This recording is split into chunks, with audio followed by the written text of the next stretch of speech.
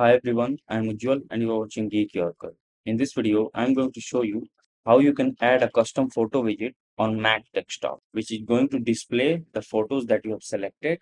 So first up, go to Spotlight and search for photos and open the Photos app. Now here, you need to click on Library in the left side pane.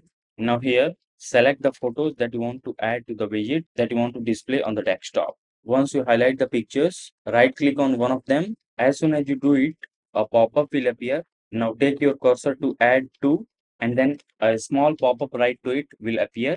Take your cursor to new album and click on it. Now here, go to collections in the menu bar.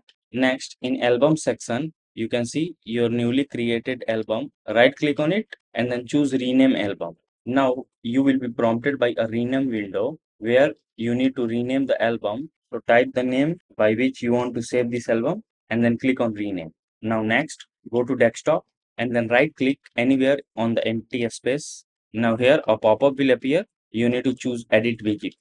Next, in the left side pan, scroll and find photos and click on it. After that, in the right side pan, scroll and choose album to shuffle throughout the day and then click on done. So to display the pictures that you have selected, you need to select the album that you have created. And to do that, you need to right click on the widget and then when the pop-up appears, choose edit album. Here, a pop-up window will appear. If you want the photos will always display in full color, then turn the toggle right to it. And to choose the album, click on this choose button right to album.